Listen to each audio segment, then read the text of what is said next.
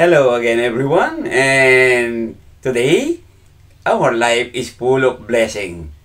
Blessing from above. So it's a time again for all of us to listen to the Word of God. And today's Bible verse is taken from the book Ecclesiastes chapter 4, verse 9 to 12. Two are better than one because they have a good return for their labor. If either of them falls down, one can help the other up. But pity anyone who falls and has no one to help them up. Also, if two lie down together, they will keep warm. But how can one keep warm alone? Though one may be overpowered, two can defend themselves. A cord of three strands is not quickly broken. And in Tagalog,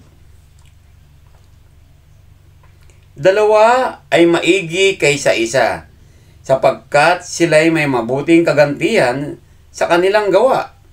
Sapagkat kung sila'y mabuwal, ibabangon ng isa ang kanyang kasama. Ngunit sa aba niya naman nag-iisa, pagka siya'y nabuwal at walang iba na magbangon sa kanya. Muli, kung ang dalawa ay mahigang magkasama, may init nga sila Ngunit paano makapagpapainit ang isa na nag-iisa? At kung ang isang tao ay manaig laban sa kanya na nag-iisa, ang dalawa ay makalalaban sa kanya at ang panaling tatlong ikid ay hindi napapatid, napapatid na madali. Ang araw nito po, dito sinasabi sa atin ng Panginoon tungkol sa kanyang banal na kasulatan, ang kahalagahan po ng may kasama ng pagkakaisa. Kasi mula pa lamang po noon, binigyan na ng Panginoon ng kasama si Adan at ito nga po ay si Eva.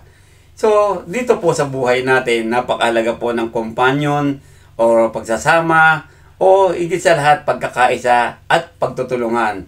Sapagkat sinabi nga po sa atin na ang tatlong tali na may kitid kailanman ay hindi mapapatid. Kaya kung tayo po ay sama-sama, wala po tayong manghihina sa atin at wala po malalaglag sa atin. So napakahalaga po ng pagkakaisa. Napakahalaga rin po na may kasama sa buhay. Katulad nga po ng tanong ng mga ngaral, papaano magpapainit ang nag-iisa? So hindi po mapapainit to. Kailangan po natin ang uminit ang pagmamahalan natin ng sama-sama, ng together tayong lahat. So the Bible verse talking about togetherness, companionship, unity in this world. That's why we need to have companion, we need to have our brothers and sisters, we need to have our loved ones. So it's very important to each one of us to have a companion. So that when you fall, someone will bring you up. When you when you need something, someone will help you. That's why unity is very important. God knows this. That's why God is telling us this morning that we need to be united. We need to be together. We need to cooperate with one another. So magtulungan tayo mga kapatid. Napakahalaga po sa buhay natin na lagi tayo may kasama. Napakahalaga po sa buhay natin na mga accomplish po natin ng ating po mga mithiin kung tayo po ay sama-sama, nagtutulungan, nagkakaisa. So let us work together. Tayo po ay manggagawa ng Panginoon Diyos. Kaya po sa buhay natin, we need each one of us. That's why God said, It's better na ang dalawa kaysa sa isa. Kaya po, sa umagang itong mga kapatid, ang kumpanyon natin na kailanman tayo ay hindi iniwan ang ating Diyos. At dito nga po, ang Diyos Ama, Diyos Anak, at Diyos Espiritu ay kasama natin kung patuloy tayong lumalakad sa liwanag.